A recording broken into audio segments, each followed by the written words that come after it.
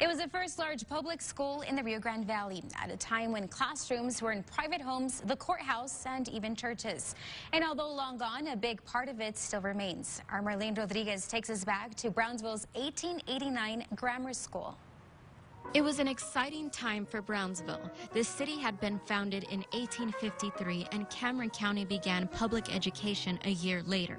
In 1875, the city decided it was time for it to have its own system.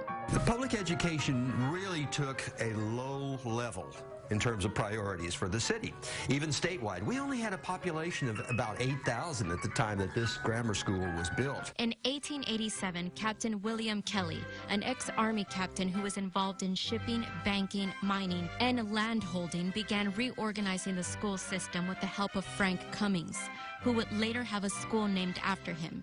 In 1889, the school was built which houses the grammar, junior, and senior high classes. It had 12 rooms on two floors with Victorian style architecture, a large clock, and the bell hung at the top it housed enough rooms in there in order to school the children of Brownsville. Although the original building was demolished in 1929, the present school, Putegnat Elementary School, was built with some of the bricks from the old school, which is named after a first grade teacher and principal from the grammar school, Annie Putegnat, while the bell is now at the Brownsville Independent School District Museum.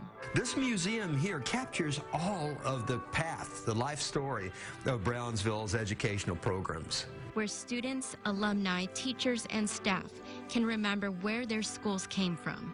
In Brownsville, Marlene Rodriguez, Local 23 News.